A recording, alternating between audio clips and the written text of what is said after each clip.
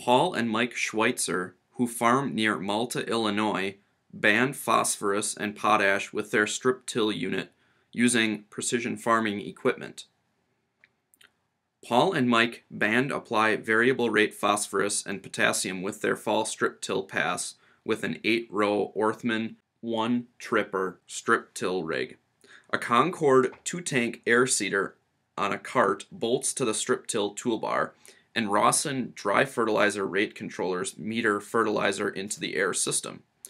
It gets placed in a band 6 to 7 inches deep. By matching fertility levels to field yield potential and strip tilling, they hope to maximize yield and greatly reduce their input costs for fuel and fertilizer.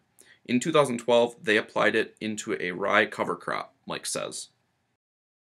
Uh, we're applying into standing annual ryegrass here, applying dry P and K variable rate uh, in the strip, deep placed, going right into a standing cover crop.